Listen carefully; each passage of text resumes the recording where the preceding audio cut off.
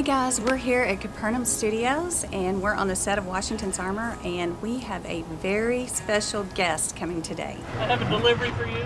And I'm so excited about it. I'm not going to tell you his name yet, but he is a musician. We're so happy to have you. Oh gosh, well thanks for letting me come and be a part of it. His music has probably been in every church in America. Probably everybody that is a Christian has worshiped to his music. Come on in. Come on, wardrobe trailers. This is Angie. She's going to be the one assisting Angie. you for Hi, how are wardrobe. you? So what happened was I got a call around Christmas time. So I really feel like that this was a Christmas gift from the Lord because it's so special. And he said, the guy that I talked to, which I will reveal later, um, he said that this certain someone might be interested in taking a role at Washington's Armor. He's been doing some acting, and so we're just so excited to have him. Ended up being a pretty good match. Good. It's really special because when I first became a Christian, I didn't really know that there was Christian music, and so then I discovered him and his music, and it really helped me in my walk with the Lord.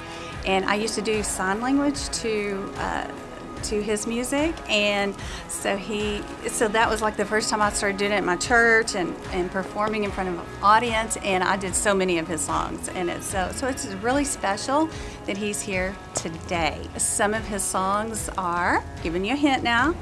Above all is one um, like he did breathe, he did healing rain, he did forever, forever God is faithful that song, that's the one that impacted my life the most.